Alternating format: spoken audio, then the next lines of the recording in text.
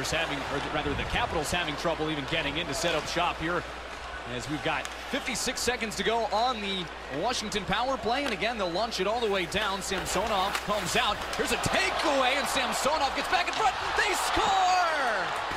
What a goal, Casey Cizikas. How about that effort? It's three to one. He was on his back, and Samsonov just mishandled it. He didn't recognize that Cizikas was coming so quick in the in the forecheck, and he just never gave up. And there's their smile. So, I mean, plenty of opportunities, and Orlov's looking, and then Samsonov is just very, very casual. And now look, look, look watch that on the ground, and says, "Well, let me just hoist it up." And Samsonov never gets back out of position. Didn't hustle anywhere enough, but don't take anything away from Cizikas as he never gives up on the play.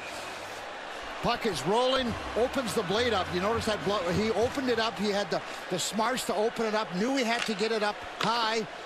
And he's all smiles, as he always is. And what a nice shorthanded goal. And that's huge for the Islanders.